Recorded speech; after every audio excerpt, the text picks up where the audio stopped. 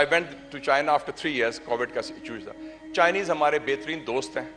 They are are best friends and reliable partner क्या message दिया उन्होंने? उन्होंने कहा कि आप देखें जो हालात हैं जितनी भी सियासी कुवतें हैं अपनी जाती ग्रोही सियासी वाबस्तगियों से बालातर होकर पाकिस्तान के मफाद और पाकिस्तान के अवाम के मफाद की बात करें। और अब भी मैं समझता हूँ कि let's not get involve in unnecessary battles because a fight again institutions is unwinnable.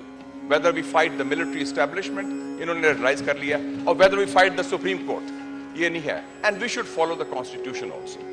And also I think इस वक्त ज़रूरत है हम मोदी को तो ऑफ़र कर रहे हैं डायलॉग मोदी को हमने कहा dialogue why don't we have dialogue with among ourselves दहशत गर्दों से हम बात करने को भी तैयार हैं let's talk with the opposition also जो पीटीआई है उनसे बात करें दूसरी पार्टीज़ में बात करें and set the rules of the game so that elections are held follow the constitution and the elections are held on schedule और इसमें कोई हो ना हो। और ये भी सबक सीखें अपना।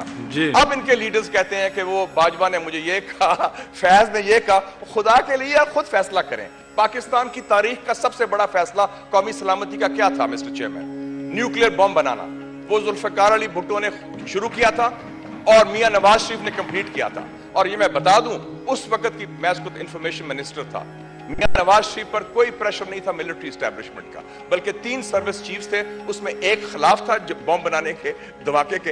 एक ने कहा, मैं न्यूट्रल हूँ, और एक हक में था। उन्होंने कहा कि, सर, आप फैसला करें। और हमने टिका के दबंग फैसला किया। और वो that has saved Pakistan today so I think the time is come political forces खुद फैसला करें बाहर किसी फ़ोन कॉल का इंतज़ार न करें और फिर बाद में ना कहें कि फलाने जनरल ने मुझे ये कहा वरना फिर ये होगा हम लड़ते रहेंगे और जनरल आइंदा खान आएगा and the party will be over so to counter India we must unite and we must seek a better uh, future for Pakistan and its people and we should avoid any confrontation either with the Supreme Court or with the military establishment ये फौज से लड़ रहे हैं हम supreme court से लड़ रहे हैं ये दोनों लड़ाइयाँ बंद करें आपस में बैठ के rules of the game set करें and have elections according to the constitution thank you mr chairman